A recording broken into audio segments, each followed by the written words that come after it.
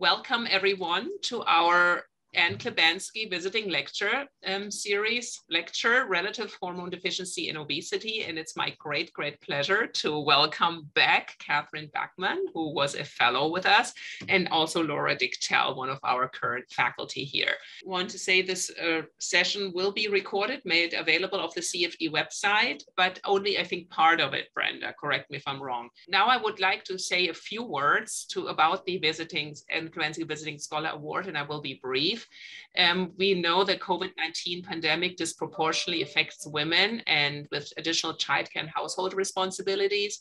And also even before COVID, women were less likely to be visiting professors because of challenges related to travel. And now with the COVID-19 related travel ban, most current rounds in visiting professorships are conducted virtually. So we used the silver lining and created the Anne Klibanski Visiting Scholar Award to um, allow women faculty, educators, researchers, and postdocs at MGH to serve as virtual visiting professor at national or international institutions. And these talks are organized by the Center for Faculty Development.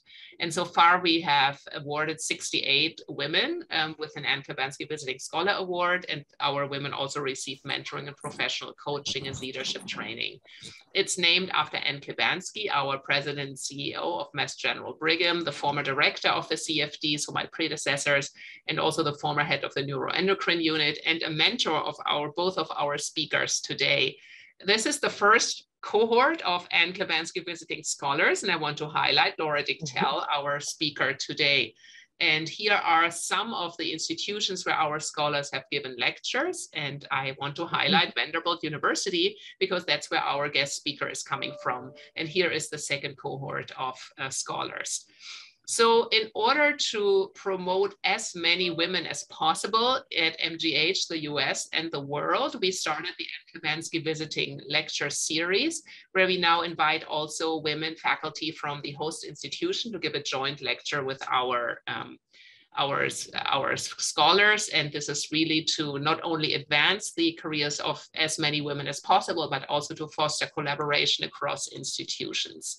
So now it's my great, great pleasure to introduce um, to you Katherine Bachmann who um, actually I've known for a long time. She's an endocrinologist and clinical researcher at Vanderbilt University Medical Center and at the Nashville VA Medical Center. She moved to Nashville in 2015. I can't believe it's been that long after completing her endocrinology fellowship at MGH under the mentorship of Dr. Karen Miller and Dr. Anne Klibanski. And Karen is here today and she is one of the champions of the Anne Klibanski Scholar Award. So thank you, Karen, for everything you have been doing in that realm. And Dr. Bachmann also holds v, um, VA Career Development Award, which funds her clinical research in obesity-induced cardiometabolic complications, um, with a particular focus on the natri natriuretic peptide system. And I'm also going to introduce our second speaker, Laura Dichtel, who is an endocrinologist at MGH and in the Neuroendocrine Pituitary Clinical Center, where she primarily cares, primarily cares for patients with pituitary disorders. And her research is how hormone dysregulation across the weight spectrum affects metabolic health and disease, with a particular interest in the impact of growth hormone on non-alcoholic fatty liver disease. And Laura and I also have been working together for a very long time, probably um, yeah, more than five years. So I will stop sharing. And I think, Katherine, you're first. So please share your slides. Okay. Thank you so much for that, uh, for that introduction. And as I'm pulling up my slides, and just make sure I'm on the right page of this. Uh, I just wanted to thank you so much for the invitation to speak here. Um, oh, sorry about that. Um, that was crazy sounding. Um, thank you so much for the invitation to speak. I'm really honored uh, to speak uh, in this forum today. I have very fond uh, memories and thoughts for Mass General, as you know, for the time I spent there in fellowship and the continued relationships and collaborations, um, you know, since that time.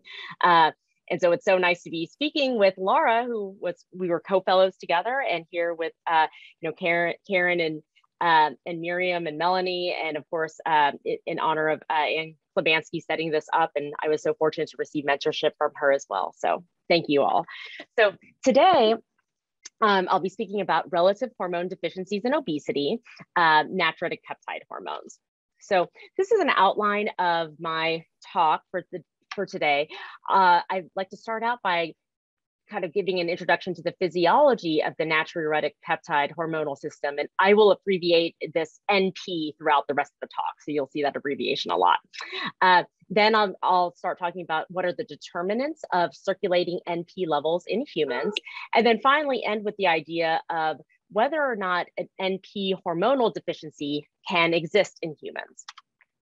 So I like to think about the NP system as the hormonal system of the heart. So, in response to elevated cardiac wall stress, which can occur in the setting of increases in, in uh, volume status and increases in blood pressure, the cardiomyocytes of the heart uh, produce and secrete atrial natriuretic peptide, abbreviated ANP, and B type natriuretic peptide, abbreviated BNP. And then the NPs go out into the, the circulation uh, and uh, act at the target organs, including the kidneys and the vasculature, and cause natriuresis, so uh, salt excretion in the urine, vasodilation, and inhibition of the renin angiotensin aldosterone system.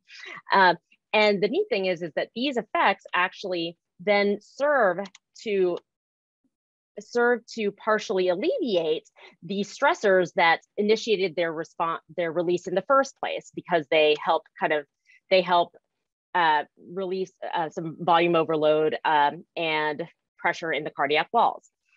So it's kind of similar to other hormonal systems.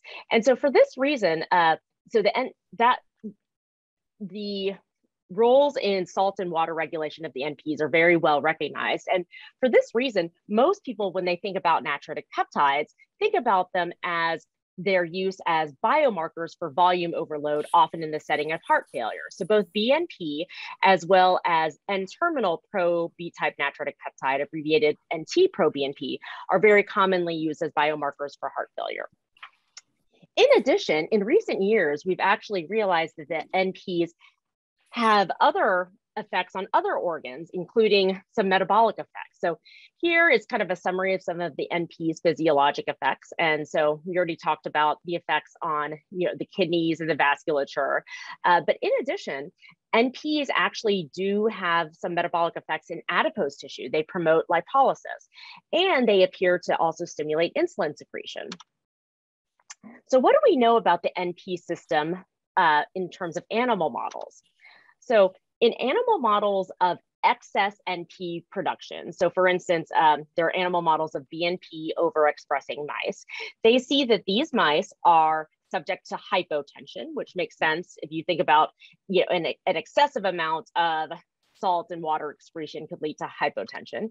In addition, they actually have some favorable metabolic effects. So these when placed on a high fat diet, BNP overexpressing mice gain less weight compared to wild type mice. And they have less accumulation of both visceral fat and total fat when on a high fat diet. And they are partially protected against glucose intolerance while on a high fat diet. In addition, these BNP overexpressing mice have increased oxygen consumption and fat oxidation on a high fat diet. And in a different model of NP overexpression, uh, we see uh, so mice that lack the NP clearance receptor uh, thus have elevated NP activity because they're not clearing the natural peptides as much. So this is just another model of NP overexpression. So these mice actually have a higher expression of genes associated with brown and beige fat. And so just as a quick overview about types of adipose tissue, in our bodies, the majority of the fat are going to be just white fats, which are uh, usually basically the primary purpose is for storage. It's a single large lipid droplet with few mitochondria. In contrast, the, there is a minority of fat in our bodies, which is brown fat, uh, which shares developmental origin with muscle. Uh, and the, these fat cells have many mitochondria and they express UCP1 or uncoupling protein 1. And the neat thing about that is that it allows these fat cells to be able uh, to be capable of thermogenesis, essentially to burn off energy as heat. And so for that reason, people have been, you know, uh, can get excited about this as a possibility of a way to treat obesity and obesity induced metabolic dysfunction. But as I said, the amount of brown fat in adult humans is pretty small. But there's an attractive idea of what if you could take the white fat, of which we have lots of that in our bodies, and if you could induce them to take on properties of brown fat, uh, that could pe- potentially be, uh, you know, a, a, more you know powerful mechanism to induce uh, to treat obesity. So there is a term for that, and it is uh, and the, the term for that is beiging or beige fat. It's kind of a cute name with white becoming brown, so you call it beige. And there are certain stimuli that can cause this. So, for instance, a cold stimulants can do it, beta 3 agonists can do it. And interestingly, it appears that natriuretic peptides may also be able to do this. So, uh, this is the data showing that in mice that over that overexpress NPs, they have increase um, they have increased um, uh, expression of UCP1 in both brown adipose tissue and white adipose tissue, which is a sign of beiging. So this here is just a summary of what we were talking about with the animal models and in the mice that overexpress BNP having some of these favorable metabolic effects. And in addition, uh, and in, I guess in contrast, uh, knockout mice, so that have very little ANP or BNP, are susceptible to salt sensitive hypertension, cardiac hypertrophy, and cardiac fibrosis. So, what are the determinants of circulating NP levels in humans? So, one important determinant is BMI. We see that obese that compared to lean individuals obese individuals have significantly lower circulating np levels. And this is in healthy uh, otherwise healthy people not people with heart failure. Uh, with obese individuals having the lowest np levels lean people having the highest and then overweight is in between. So it's a strong linear relationship linear relationship by which bnp levels are lower the higher your bmi is. And interestingly after surgical weight loss, the low NP levels that are observed in obese individuals actually partially normalize after surgical weight loss. So it seems that this is partially correctable. It's possible also that the that uh, the relationship between obesity and low NPs may be possibly at least partially explained by hyperinsulinemia. So uh, both uh, both obesity and insulin resistance as assessed by HOMA IR are independently uh, associated with lower NP levels and in epidemiologic co cohorts. And in epidemiologic cohorts, when you look at people based on different metabolic subtypes, um, so lean versus obese, but also insulin resistant versus insulin sensitive, we see that obese and people who are also insulin resistant have the lowest natriuretic peptides. Uh, lean insulin sensitive people have the highest natriuretic peptides, but lean individuals who are also insulin resistant still have significantly lower natriuretic peptides. So all this to suggest that it, it appears that low NP levels are independently associated with high insulin levels and that uh, and that the relationship between obesity and low NPs may be partially mediated by insulin resistance. So in addition, uh, sex is a very strong determinant of NP levels. So interestingly, circulating NP levels are about 40% lower in healthy men compared with healthy women, which makes sex the single largest determinant of inter-individual variability in NP levels among healthy individuals. And so, what is responsible for these sex specific differences in NP levels? Could gonadal steroids like testosterone and estradiol possibly play a role? So, this was an epidemiologic study looking at NP levels in men versus women and among the women, they were stratified by different estrogen statuses. So, uh, looking at women uh, who are postmenopausal versus premenopausal, and those who were on hormone therapy versus not on hormone therapy. And the main take home point of this, of this slide that I want you to go away with is that there were some small, relatively small differences in the NP levels among women of different estrogen statuses. But the magnitude of these differences among any of the groups of women are much smaller than the huge difference between the NP levels of men compared to any of these groups of women. So for instance, you know, the postmenopausal women not on hormone therapy would be expected to have very low estrogen levels, yet they still there were there were still huge differences in NP levels where the men still had much lower NP levels than than any of the groups of women. Interestingly, in this same study, we found that higher free testosterone levels were associated with lower NP levels um, among men and among women, uh, suggesting that maybe right. testosterone actually plays a big role. Um, and again, this was in an observational study. So this led us to hypothesize that potentially testosterone could suppress natriuretic peptide production. And we wanted to investigate this hypothesis using a randomized design.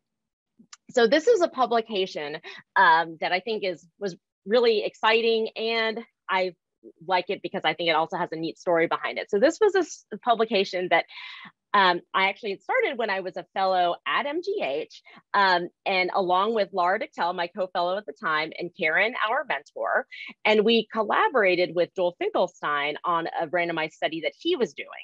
Um, so we were all at MGH at the time, and then we then collaborated with Tommy Wang, who had been at MGH, but then moved to Vanderbilt uh, to be the chief of cardiology over at Vanderbilt. So we started this project back in like 2013 when we were when Laura and I were fellows. And then I graduated from fellowship, moved to moved to Vanderbilt uh, in 2015, and then we finished this project after that time. Um, and then published it in this high uh, impact cardiology journal. So I just think it's a really neat, oh, and I kind of highlighted here for fun, you know, the, the people who are at MGH and the people who are at Vanderbilt. So you see that, you know, the great kind of collaborations and relationships that developed with us on this project over time. So uh, and I think it was a neat study, so which I'll tell you about. So, uh, so in this study, this was there were 151 healthy men who um, all received a GnRH analog to suppress completely suppress production of their gonadal steroids. In addition, they all received an aromatase inhibitor to suppress the conversion of testosterone to estradiol. And then they were randomized to 12 weeks of either placebo gel or testosterone gel of various doses. And then we looked uh, at their NP level. So here's a so here's a slide showing with uh, changes in log serum testosterone level with re regard to their testosterone dose. So uh, the main point here that I wanted to show is that the intervention worked and that the men who um, received placebo gel after receiving the GnRH analog, um, they their testosterone levels, as expected, became dropped considerably. And their mean testosterone level is something like 30. So very, very low testosterone levels. And in this group, uh, so here we're showing NT pro BNP with regard to testosterone. Uh, in this group of men who became profoundly hypogonadal, whose testosterone levels dropped significantly, they had significant increases in their BNP levels. And we found that each one gram increase in testosterone dose was associated with a 4.3 percent lower NT pro BNP level at follow-up after multivariable adjustment for other factors that we know um, influence NP levels. And in this slide, we show changes in uh, circulating NT proBNP levels with uh, regard to changes in serum circulating testosterone levels. And we see here that circulating NP levels, uh, changes in circulating NP levels were inversely associated with changes in circulating testosterone levels. Again, with this placebo, the placebo group who became profoundly hypogonadal, having large increases in their NT proBNP levels. And in mo some modeling that we did, we saw that it, an individual whose serum testosterone decreased by 500 nanograms per deciliter, which is kind of some of the differences you'll see between men and women in their testosterone levels. We saw that these people whose testosterone decreased significantly would have a 23% higher predicted follow-up NT-proBNP than someone whose testosterone remained constant. So from this study, we concluded that um, testosterone likely has an inhibitory effect on circulating NP levels, and that testosterone may explain part, but likely not all of the differences in NP levels between healthy men and women. Uh, and then I'd like to also show briefly show some data from one of my collaborators here at Vanderbilt, Deepak Gupta, who is very interested in racial differences in circulating NP levels. So he examined NP levels in multiple epidemiologic cohorts across the country and very consistently found that in relatively healthy individuals without heart failure, Blacks had significantly lower NP levels compared to whites, and that this relationship was very strong and persisted even after uh, adjustment for lots of other factors.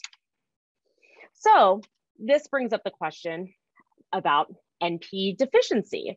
Uh, so to kind of sum up what, we, what we've been discussing, in large cohort studies of healthy individuals, NP concentrations are lower in obese compared with lean individuals, in men compared with women, and in Blacks compared with whites.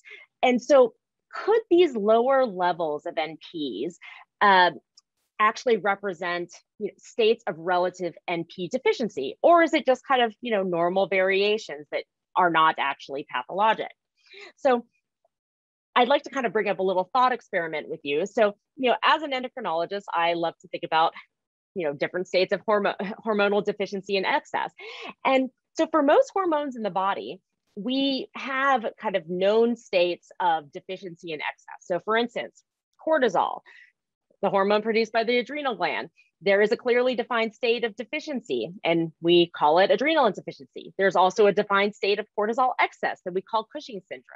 Same with thyroid, same with insulin, same with growth hormone that Dr. Dichtel is going to talk about growth hormone later in the hour.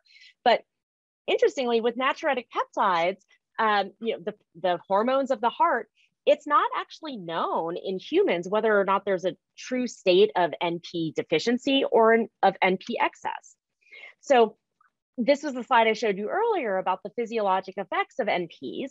And so then I'd like to put this another way saying that, okay, if we know that NPs cause things like lowering filling pressures of the heart, if you had a deficiency of NPs, you could presumably imagine that these people would be subject to cardiac hypertrophy and diastolic dysfunction. Um, and if you have, uh, since we know that NPs can promote lipolysis um, in adipose tissue, one could presume that if you had an impairment of this, could this contribute to obesity? So, and this was a slide I was showing earlier about animal models. And so, you know, we have these animal models of, of uh, kind of too little NPs and how they're susceptible to hypertension. So what do we know in humans? So in from human genetic investigations, they've discovered uh, you know, certain variants um, that can lead to variations in NP level. So this here is a variant in the uh, promoter for ANP that leads in people with a certain genetic variant that have about 20% lower circulating ANP levels, they have a 10 to 15% higher risk of hypertension, and they also have a higher, um, higher left ventricular mass. And interestingly, people with these lower ANP levels also have higher risk of obesity and metabolic syndrome. Um, and so uh, suggesting that perhaps maybe there is sort of a deficient phenotype. Um, so just uh, to kind of summarize what we were saying, in these large cohort studies, NP levels are lower in obese individuals, in men, and in Blacks. These groups also have higher rates of hypertension and cardiovascular disease. And we talked about how the NP system may protect against hypertension and cardiovascular disease. So, is it possible that a relative NP deficiency in these groups may contribute to higher rates of hypertension and cardiovascular disease observed in these groups?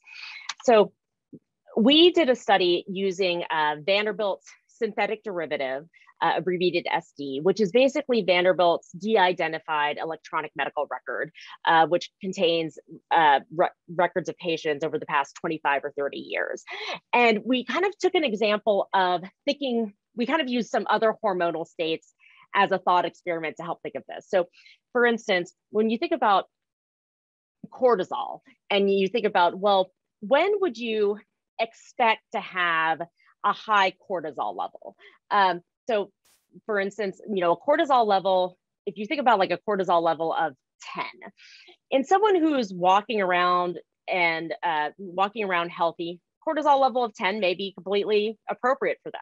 However, if you think about someone who's hypotensive in the ICU, cortisol level of 10 seems inappropriately low for that setting. So similarly, thinking about when would you expect to have high BNP levels when that would be kind of physiologically appropriate? And remembering that BNP and ANP should be stimulated by increased cardiac wall stress. So thinking about that, we we we brainstormed these groups and said, uh, and we thought about three groups who we thought should have very elevated BNP levels. So uh, so we thought we found people who were hospitalized for heart failure, people with abnormal cardiac structure or function based on echocardiogram, and people with elevated, very elevated cardiac filling pressures based on cardiac catheterization. That all of these people you would think should have high BNP levels because that would be physiologically appropriate. And then just as a reference point, a cutoff of a BNP greater than 100 is often used to diagnose acute CHF exacerbation. So here, here's what we found. So we found that among these three cohorts of people who with severe cardiac dysfunction, about 10% of people who were hospitalized with heart failure and over 20% of people who had abnormal cardiac function or structure based on echocardiogram and and um, and by catheterization had BNP levels less than 100. That uh, that's shown by the green and the and the orange shading. And interestingly, about five to 10% in each group actually had BNP levels less than 50, which is you know half the threshold that's usually used to diagnose heart failure. So uh, I think a lot of people would argue that that is inappropriately low in the setting of severe cardiac stress. And interestingly, higher BMI was the strongest predictor of unexpectedly low BNP in patients with heart failure.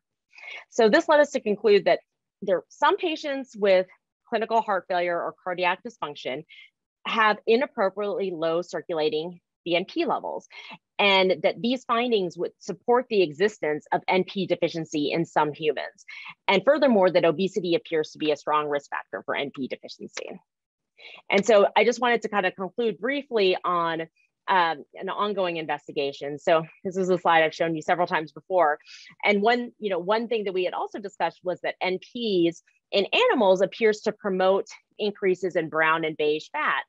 Um, and so if you had a deficiency of NPs, could that lead to uh, lower expression of brown and beige fat and, and to obesity. So in as part of my ongoing um, VA Career Development Award, uh, we're investigating the hypothesis that obese individuals have relative NP deficiencies that contribute to less beige adipose tissue and lower energy expenditure. So in AIM-1, we are determining whether markers of beige adipose tissue, um, as assessed by gene expression um, from subcutaneous fat biopsies, um, we're determining if they differ between obese and lean individuals. And furthermore, whether these beige adipose tissue markers and energy expenditure are associated with markers of the natriuretic peptide system, both systemically and locally in adipose tissue. So in conclusion, Animal models and human genetic data suggest that natriuretic peptides exert protective effects against adverse cardiovascular and metabolic outcomes. And that a relative NP hormone deficiency may actually exist in some humans. Obese individuals, men, and Black individuals may be at higher risk of NP deficiency, and it's possible that a relative NP deficiency in these groups may contribute to adverse cardiovascular and metabolic outcomes in these groups. And finally, further investigation is warranted to better understand how NP deficiency, uh, in, uh, uh, better understand NP deficiency in humans, including mechanisms of how it develops and also potential treatments to correct NP deficiency. And finally, I would just love to acknowledge everyone who has really helped with this research and my career development, people at Vanderbilt, my mentors there, my collaborators, my study team members, uh, people at MGH, uh, my mentors and colleagues and, and collaborators here, and so many more that I you know wasn't able to list everyone, but there were so many people who have helped with this research and helped with my career. And finally, I'd like to acknowledge my funding sources and thank you all so much again. That was fantastic, Katherine. Thank you so much. And I, I'm fascinating about your results also with the beiging of um, white fat. So let's, yes.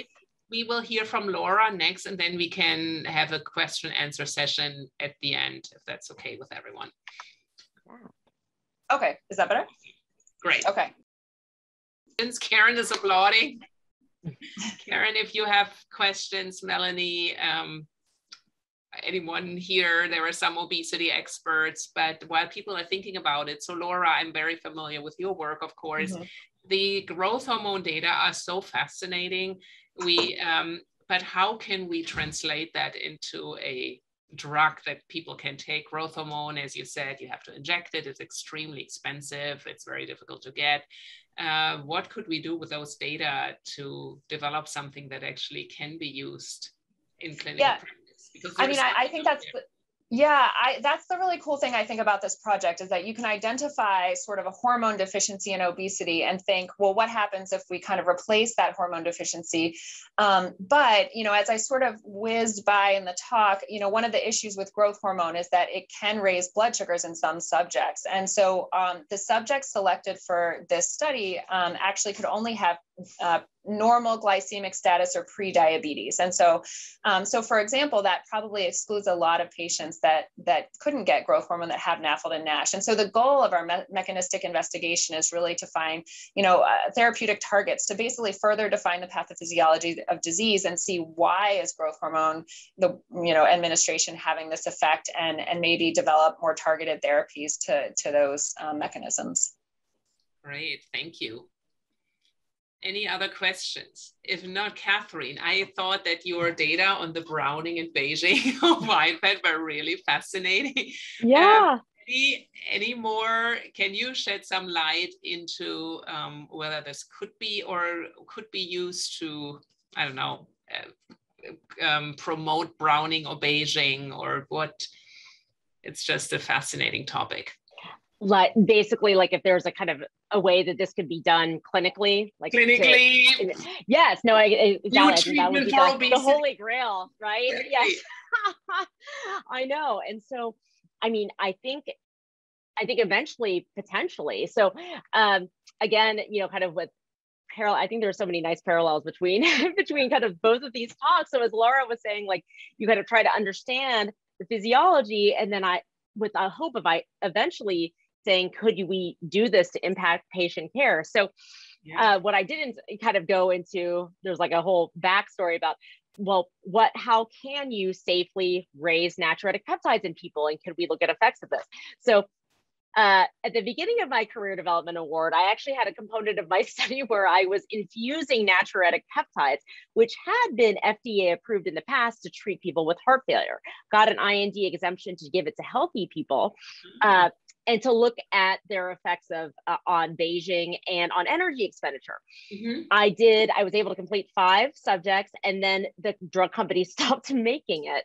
Oh. Um, and but there are there are other ways to kind of get around it, uh, or you know, kind of increase uh, natriuretic peptides. So, for instance, interestingly, the uh, PDE5 inhibitors like sildenafil, tadalafil, they do actually increase cyclic GMP activity, which is you know basically cyclic GMP is the second messenger for natriuretic peptides. So there, it is possible that those agents, and there there are some collaborators here at Vanderbilt who are doing work on that, um, as well as kind of other agents to try to increase natriuretic peptides. So I think that it could be potentially.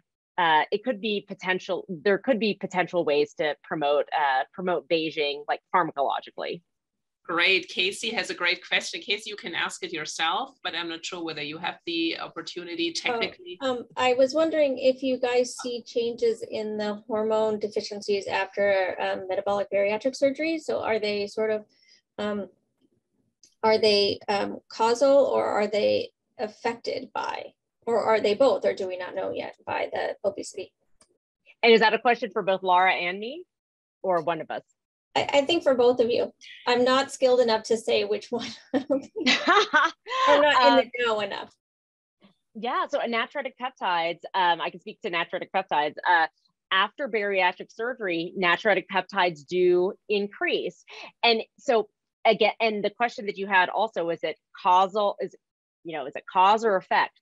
So unclear actually, because um, you know, at, it, it, we just see that it does happen after bariatric surgery. And interestingly, a lot of the rise in natriuretic peptides actually occurs prior to weight loss, uh, prior to a lot of weight loss occurring. So it's kind of that you know, kind of following the uh, interesting hormonal changes after bariatric surgery, where you see a lot of hormonal changes after bariatric surgery, even prior to substantial weight loss.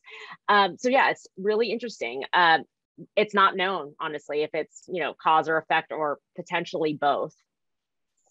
Yeah, and from the growth hormone side, um, and Karen can correct me if I'm wrong, but we had talked about that that exact actual question. So the the data that I'm most familiar with is um, what I like lifestyle weight loss and reversal of the growth hormone secretory abnormalities. But um, we've talked about that exact clinical question, and I, am not sure that actually anyone has done this study, but to do um, a growth hormone stimulation test um, kind of immediately after bariatric surgery to see if some of these abnormalities reverse just because of some of those, you know, hormonal and metabolic changes that happen right away. Um, and then sort of also do it once the subject has lost weight to see if it's the weight loss itself or some of those hormonal changes, um, as Katherine was alluding to. Um, but I'm not aware that actually anyone has done that yet.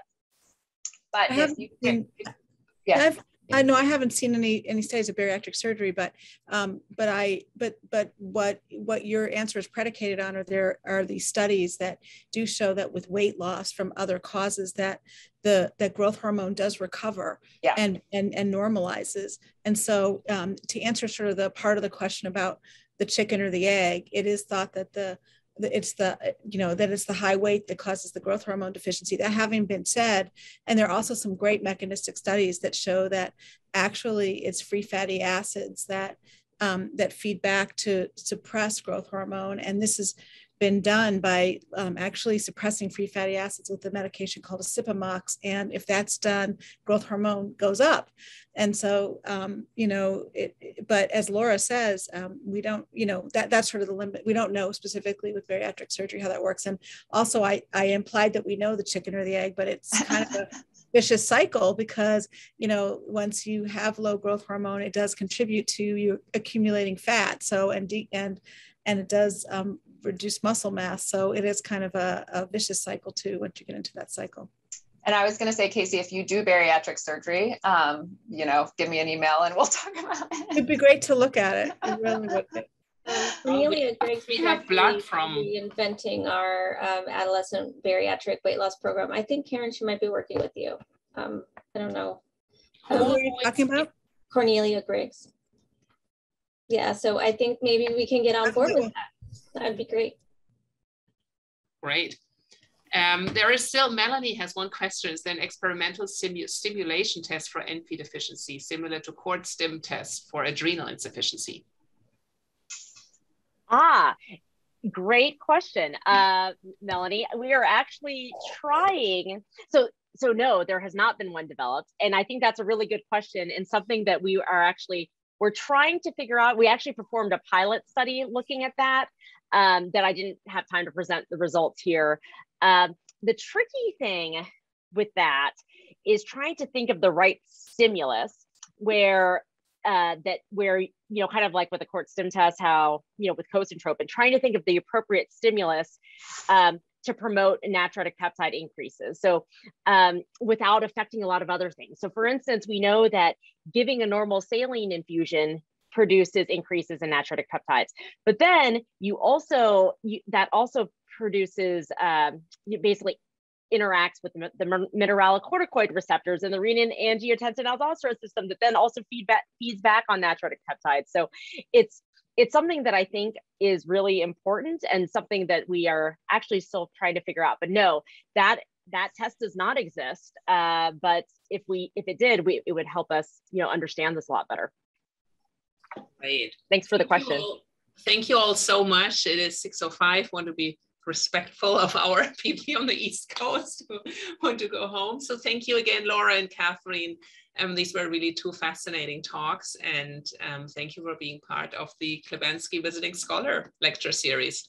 And thank, thank you all. Who, you thank you, Karen, also um, for doing the great mentoring and being a champion for our faculty. And thank you to all of you who stayed here till 6 p.m. Thank you so much. Bye. Thank you. Bye.